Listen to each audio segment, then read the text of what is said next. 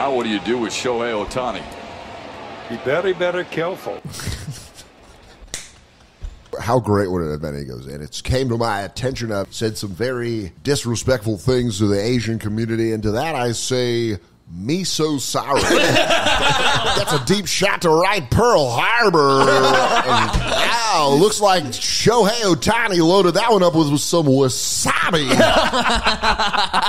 That's so It's funny. also, He was trying to do Elmer Fudd. Also, I want to let everyone know I only got the Japanese version of Looney Tunes.